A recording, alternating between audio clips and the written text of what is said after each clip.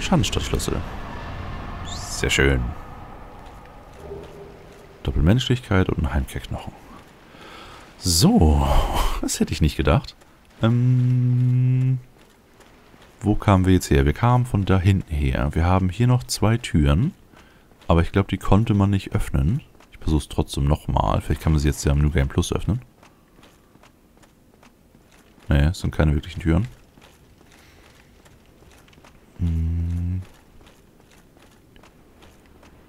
Geht es jetzt in die Schandstadt und in der Schandstadt müssen wir dann wieder, ich habe ein Déjà-vu, müssen wir wieder ein Leuchtfeuer suchen.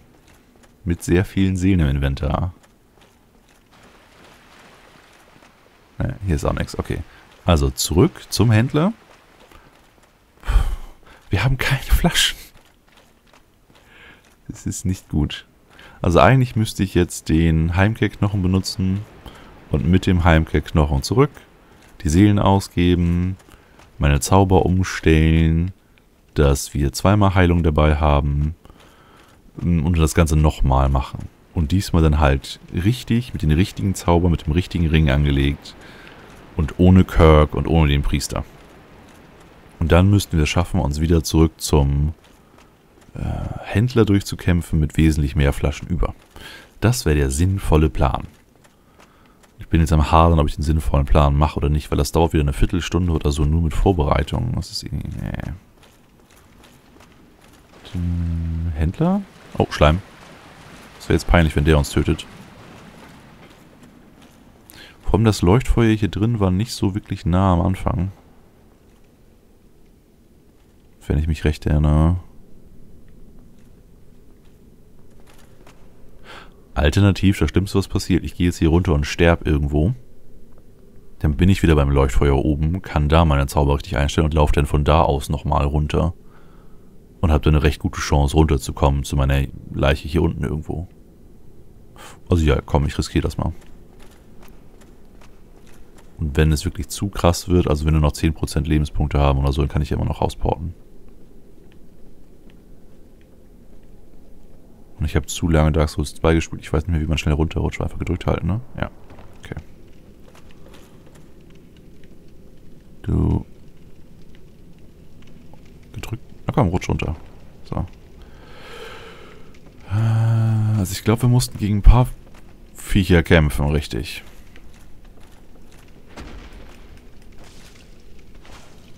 Ach du Kacke. Hältst dir richtig was aus? Äh, ja.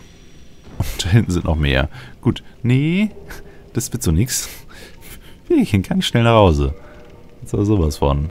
Und wir sollten immer Heimkehrknochen hier in der Quickleiste haben. Gib mir... Dim, dim, dim, dim, dim, dim, dim. Da, Heimkehrknochen. So. Ja, ich will nach Hause. Mami, Mami, Mami und so.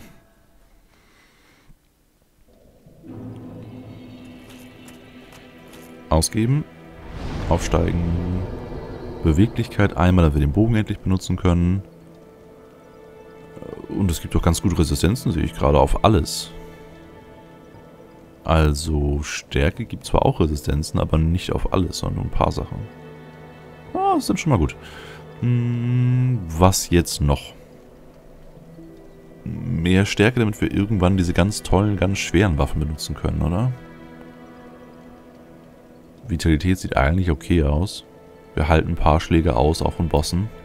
Also ja, mehr Stärke. So, wir brauchen 42.000. Das kriegen wir hin.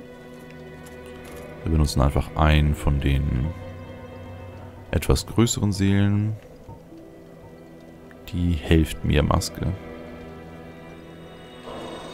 Ja, das ist nur eine kleinere Seele, ich weiß. Ich habe vergessen, dass ich die hier rein tun muss. Da. Und da. So, benutzt. 42.000 müssen wir kommen. Das ist wirklich die aller, allerbeste Neuerung in Dark Souls 2. Dass man davon mehrere auf einmal benutzen kann.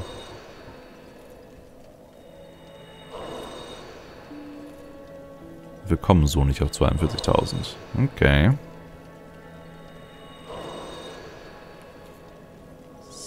So. Ausrüstung. Du. Die da. Die da. Ja, sieht doch viel besser aus. Und sicher ist aber noch ein, falls es 42.605 äh, wäre. So. Aufsteigen. Und nochmal Stärke. Jo. So. Jetzt äh, Zauber einstellen. Kein Blitzschweiß, sondern Heilung. Ringe waren schon richtig. Das heißt, wir kämpfen uns jetzt wieder durch das Kanaldingens da durch, an der Moosfrau vorbei. In die Unterstadt, durch die gesamte Unterstadt. Bis zum Händler unten. Und da gehen wir in die Schandstadt. Das könnte jetzt eine Weile dauern. Und ich sollte vorsichtig sein, weil jeder Schaden, den ich bekomme, ist weniger Lebenspunkte, die ich in dem wichtigen Gebiet habe. Also weg mit dir.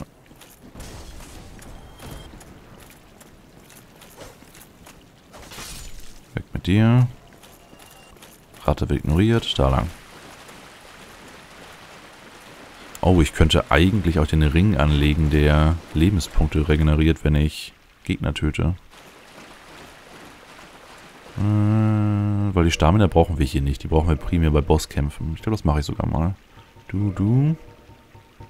Gib mir den da. Davon haben wir leider noch keine bessere Variante. So. Das heißt, jetzt können wir ruhig alles an Trash töten. Solange wir halt mehr Lebenspunkte bekommen, als wir verlieren. Was eine Herausforderung ist. Wobei, so ein kleinen Vieh zum Beispiel könnte man dann gut machen. Ja. Hat man eben... Also wenn man genau hinguckt auf der Lebenspunkteleiste, sieht man ja diese unterschiedlichen Bubbles. So drei. Äh, die Abschnitte. Da haben wir 1, 2, 3, 4, 5, 6, 7, 8,5 von, von den großen. Und innerhalb der großen gibt es nochmal Unterabschnitte. Und ein Gegner töten gibt einen Unterabschnitt von einer so einer Blase. Was okay ist, würde ich sagen. Weil es gibt halt auch sehr viele Mobs, die wirklich sehr leicht zu töten sind. Was ist eigentlich mit sowas wie den ganz kleinen Babyratten und dergleichen? Kriegen die dann auch Lebenspunkte zurück? Muss ich gleich mal testen. Gebusch. Gebüsch. Gebüsch. Und gleich bin ich voll. Sehr gut. So muss das sein. Und ich habe da hinten Loot übersehen. Ja, mal gar nicht. Ja, okay, eine Billigseele. Wobei Soldat war schon die zweite oder dritte Stufe, glaube ich. Also darum, darum, darum. Push. So, du Feuermensch. Kick. Tot. Ich habe keine Ahnung, warum ich die immer zuerst kick. Oder öfters mal zuerst kick. Wahrscheinlich, weil ich nach vorne drücke gerade. Zu dem Zeitpunkt. Weil ich halt näher an sie ran will, weil die Keule doch eine nicht so große Reichweite hat. Weg, weg, weg. Weg. So, der Koch ist auch nicht mehr da, oder die Köchin. Ist noch ein Faktor, der dafür sorgt, dass wir mehr Flaschen unten ankommen werden. Weg. So, Frage. Nehmen wir jetzt die vermeintliche Abkürzung oder nicht? Ich weiß nämlich nicht, inwiefern das eine wirkliche Abkürzung ist. Ah, egal. Gehen wir mal runter. Springen wir da hin. Ah, wir können diesmal die Abkürzung in Anführungszeichen nehmen mit dem Runterrutschen.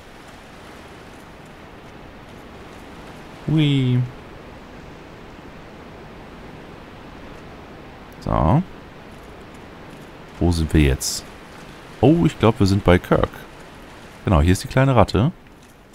Hier sind die großen Ratten. Und hier war Kirk. Kaputt. Äh, äh, roll, roll, roll, roll, roll, roll, roll. Und die Gegner kommen jetzt alle runter. Mist. Lauf.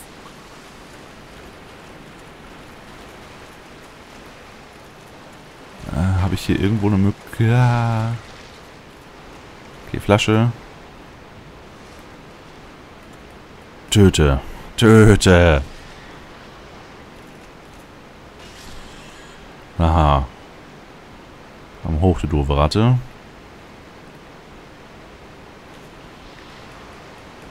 Wir haben so einen Sprungangriff, der ganz schön garstig ist. So, und jetzt räumen wir das Feld nochmal auf. Hallo du. Bei euch wollte ich eigentlich den Zweihandmodus benutzen, auch wenn er nicht immer hilft. Manchmal tut er es. Wechsel. Keine Ratte, keine Ratte. Eine mittlere Ratte. Oh, Blut. Menschlichkeit, sehr gut. Und wir sind beim Händler. Das ging wirklich viel schneller. Also merke bei dem vermeintlichen Rattenboss, also erstmal bei der Küche runterspringen, dann beim vermeintlichen Rattenboss die Rutsche benutzen. Oder diesen Abfluss eigentlich. Ja. Und dann ist man recht flott hier bei dem Händler und kann vom Händler aus nach unten gehen. Goodie, goodie, goodie. So, und jetzt hätten wir gerne wieder ein Schild. Obwohl, nee, hätten wir nicht gerne, weil die Viecher sind träge. Da kann man durch reine Bewegungen schon die austricksen. Kannst du bitte mal, genau, runterrutschen.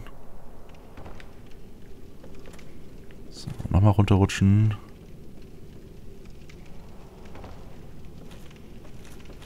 könnten sie jetzt auch mit dem Bogen mal anpullen. Jetzt, wo der Bogen auch Sinn macht. Muss ich gleich mal testen. Erstmal müssen wir den jetzt hier so hinbekommen, dass er haut. Genau, dann können wir ihn hauen. Dann kann er hauen. Oh, können wir daneben hauen. Und wenn wir gleich weiter nach hinten gehen, fallen wir runter. Genau, deswegen Schild. Können wir dich treten? Irgendwie lässt er sich nicht so wirklich gut treten. Aber wir können alles von ihm blocken, das ist schon mal sehr gut. Kick. Ne. Okay. Block, Block. Hau ihn. Warten, warten, warten. Block. Hau. Hau. Weg. Okay. Geh aus dem Weg. Haben wir hier unten in der Konstruktion noch irgendwas, wo man taktisch raufspringen könnte? Nee. Und äh, stimmt eigentlich, ich will gerade gar nicht taktisch irgendwo raufspringen und Sachen finden, wie da unten den Loot, sondern ich will nur, wie beim ersten Mal, wo wir hier sind, durch. Keinen zweiten Pullen. Ich will nur durch und zum Leuchtfeuer.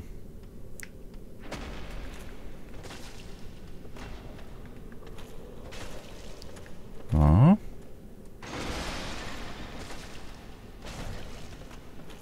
Ah, strauchelt auch, sehr gut.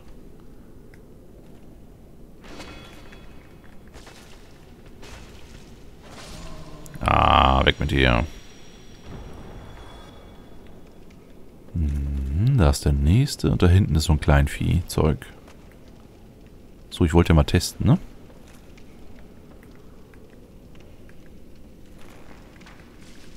Yay, 33 Schadenspunkte nicht so wirklich berauschend. Aber du hast zwei Pfeile in dir stecken. Das sieht schon mal cool aus.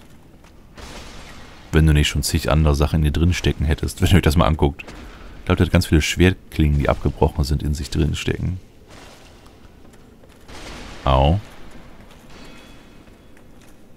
Auf den Kampf konzentrieren. Gut. Eine Heilung haben wir uns verdient. Schild wechseln, Jauche einsammeln und weiter durchkämpfen. Achso, warte mal, die da hinten. So. Gucken wir mal, ob wir die einzeln bekommen. Ting. Ja, scheint zu klappen. Push, push, push. Drei Schläge für euch. Das könnte interessant werden.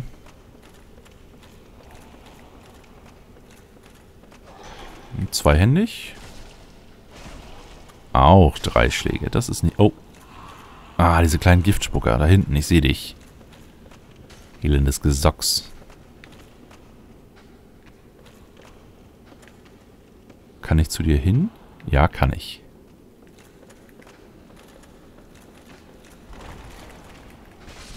Weg, weg, weg.